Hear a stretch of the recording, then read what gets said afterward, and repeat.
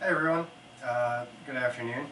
I thought I'd try to make some candle holders today. So these would actually be similar to our little um, succulent herb vase, but without a hole in the bottom, and probably a little bit wider on top. Um, this would be used to be filled up with soy wax flakes or beeswax flakes or paraffin and actually cast a wick into it uh, I'm also going to try to make a lid that maybe could be waxed so that it is watertight. Um, nice survival item and nice home furnishing item. So two ways to market it. So here we go. Thanks.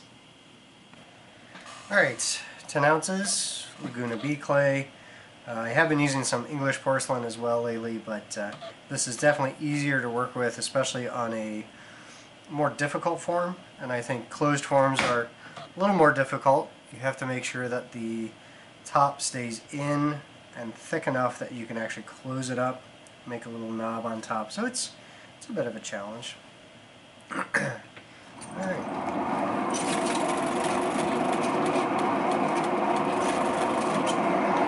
Going it up and down just as normal. You can make these a little different shapes, uh, however you like. Um, tall and skinny actually seems to work work well. Short and fat is easier to transport. Centered. A little divot. And a little puddle of water for the opening. When you start getting dry, make sure you add a little water. I'm going to make this one kind of tall and skinny. Good tip is if you get the chance, fill it up with your wax, your paraffin, your soy, whatever, the fragrance. Put a wick in it, and then burn it.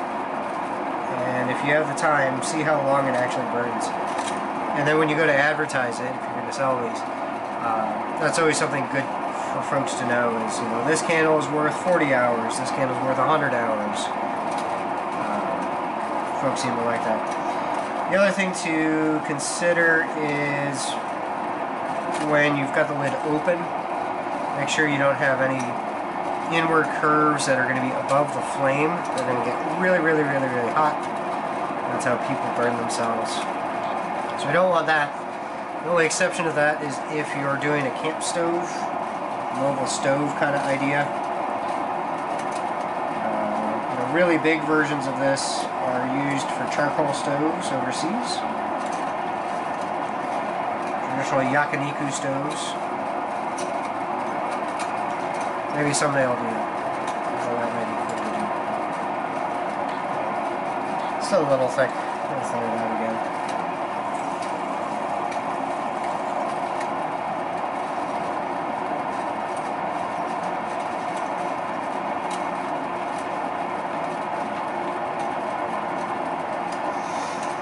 again. Again, 10 ounces of clay.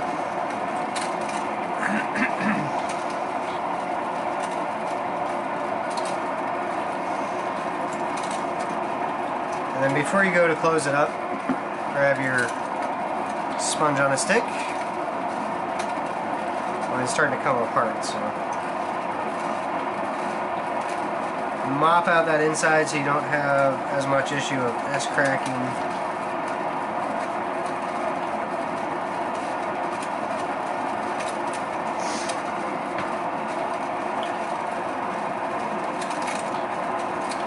you want to get really fancy with it, um, when it's leather hard, you can carve little windows out of the out of the sides.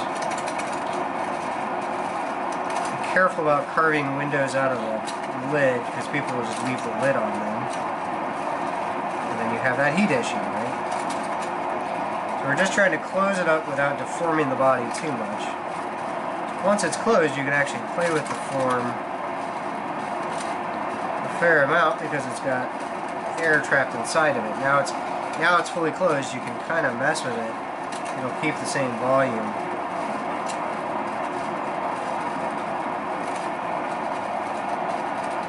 Take my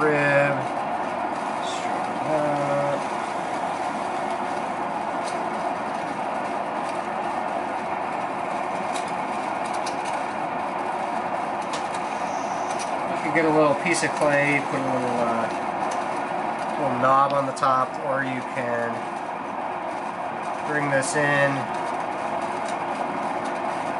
just like if you're doing another lid. It's a little, it gives you a little bit of resistance because the air is stuck in there, and you can force it without popping the bubble. Make a little, make a little knob just so that you can pick that lid up easier.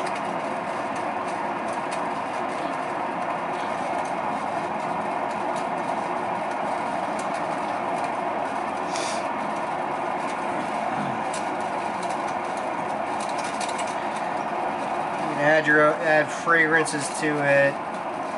You know, maybe not if you're going to use it for emergency situations, but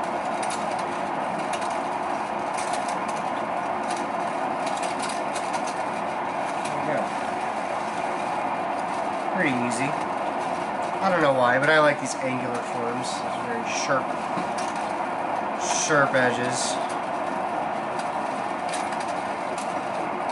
Not so sharp you're going to cut yourself. Sharp. Undercut. Okay, and then the last little bit is this guy. Some people use chopsticks, some people use the back of their pin tool. Um, this is just a little piece of know, quarter inch wood. Pick a spot below the lid, so probably here. Right there.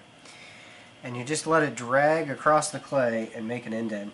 Um, you're gonna see, you're gonna be able to see the tool from here, but you'll see the indents through.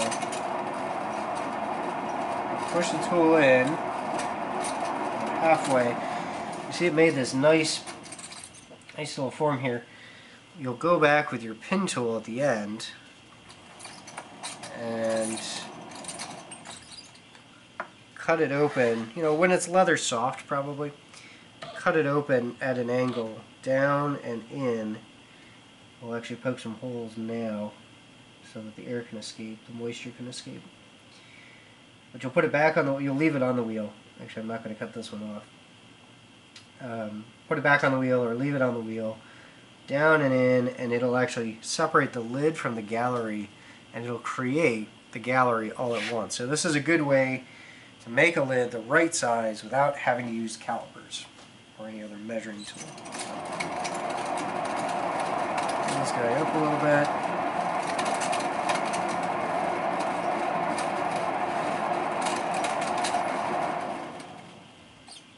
There you go. I'll do a couple more uh, fast motion and that'll be that. Thanks. Uh, don't forget to comment and subscribe.